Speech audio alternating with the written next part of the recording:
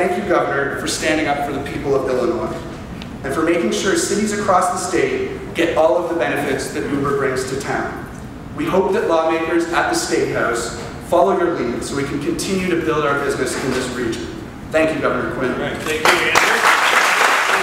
Andrew. Uber understands that having the opportunity to get a good job that pays a decent wage, that serves the market and serves consumers, that's what it's all about. And that's why we're very, very happy that Uber has picked our state for expanding their technology.